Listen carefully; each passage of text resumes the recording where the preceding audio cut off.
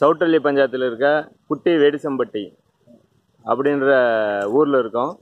இங்கே இந்த தென்பெண்ணை ஆற்றங்கரையில் பக்கத்தில் ஒரு பழமை வாய்ந்த பிருந்தாவனம் இருக்குது இந்த பிருந்தாவனத்தை இப்போ நம்ம பார்க்க போகிறோம்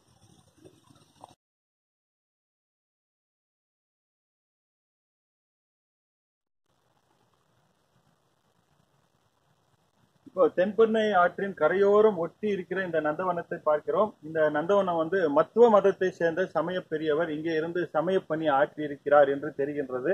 அந்த சமய பெரியவர் இறந்ததற்கு பின்னால் அவருடைய ஜீவ சமாதி இங்கே கட்டப்பட்டு இருக்கிறது அந்த மத்துவ மத்துவ மதத்தினுடைய ஜீவ சமாதியை இப்போ நீங்க இங்க பார்க்குறீங்க. இதே போல் ஒரு ஜீவ சமாதி இந்த ஆற்றின் மறுக்கரையும் கரையில் உள்ள பின்னேஸ்வர மடம் என்ற அந்த பகுதியில் அங்கேயும் இதே போல ஒரு ஜீவ சமாதி இருப்பதை நாம் முன்பே பார்த்து பதிவு செய்திருக்கிறோம்.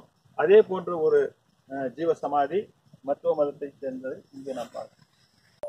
இந்த நந்தவனத்தை கட்டியிருக்கிற அந்த ஜீவ சமாதியை பார்க்கிற போது இந்த கல் கட்டட அமைப்பை பார்க்கிற போது இது முறையாக க- கட்டப்பட்ட ஒரு கட்டடமாக இல்லாமல் இங்கே கிடைத்த கற்களை கொண்டு இவர்கள் இது இந்த சமாதியை கட்டியிருப்பதாக தெரிகிறது.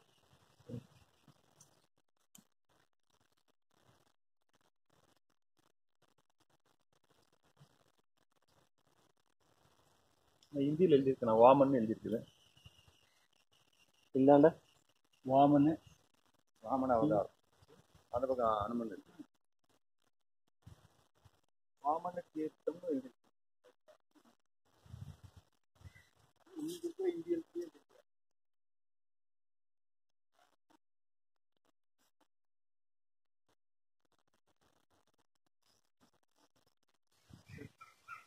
வாமன தீர்த்தர்னு எழுதியிருக்கேன்.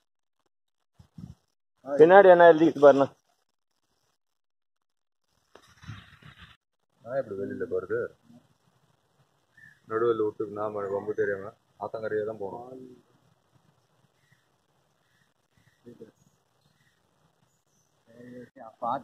சரியா போச்சு ஆத்துல அவ்வளவு உயரத்துக்கு தண்ணி இங்கிருந்து அவ்வளவு உயரம் ஆமா.